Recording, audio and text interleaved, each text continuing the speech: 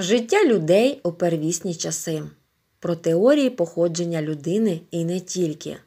Походження людини є таємницею, як і виникнення життя на планеті. Тривалий час до 19 століття людину, як і саму землю та все живе на ній, розглядали як творіння Бога. Наприклад, у давньому Єгипті вважали, що люди утворилися із сліз Бога Сонця Ра.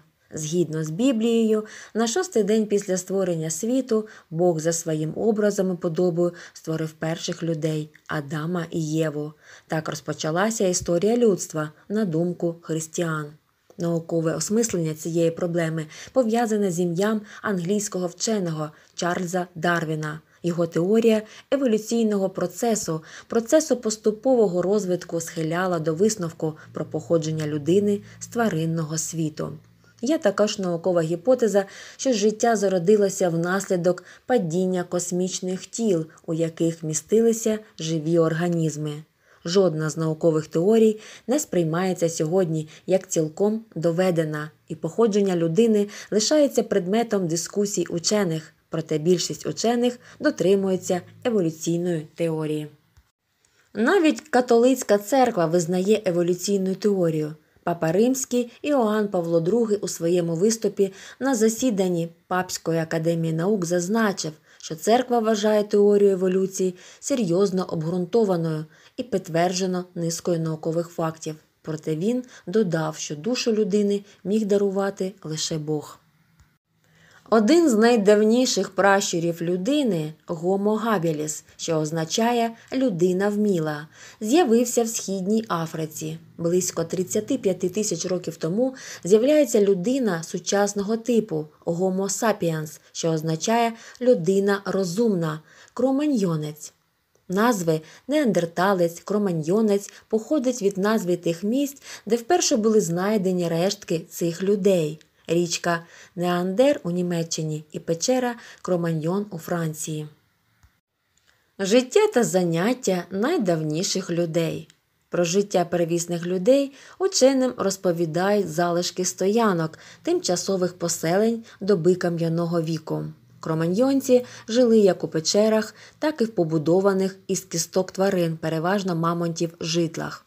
Спочатку в епоху палеоліту давнього кам'яного віку люди навчилися загострювати каміння, зробивши кілька ударів каменем об камінь. Такі гостряки, а також дрючки, палиці, копачки були першими знаряддями праці давньої людини. Полювання, збиральництво та рибальство були основними заняттями людини протягом багатьох тисяч років. У добу мезоліту змінилася техніка рибальства, винайдено гачки і сітка, почалося використання плотів і човнів. Це привласнювальні форми господарської діяльності. Великим досягненням кроманьйонців став винахід в епоху мезоліту, першого в історії людства механічного пристрою лука зі стрілами. Пізніше до винаходу вогнепальної зброї він був основною зброєю. Сьогодні стрільба з лука є олімпійським видом спорту. Розвиток форм організації суспільства. На підставі етнографічних досліджень учені сформували уявлення про етапи розвитку людської спільноти. Рід, родова община це колектив родичів, що вели спільне господарство і мали спільне майно. Кілька родів, що жили по сусідству і мали спільні звичаї та вірування, об'єднувалися у плем'я. На чолі племені стояв вождь. Вождя обрала рада старішин, група осіб, яка стояла на чолі роду, мала авторитет і повагу. Є ще один спосіб періодизації розподілу на етапи періоди історії людства відповідно до розвитку людського суспільства. Первісне стадо невелике, нестійке об'єднання первісних людей, родова община. Матріархат материнський рід на чолі общини стоїть жінка. Патріархат батьківський рід, на чолі общини стоїть чоловік.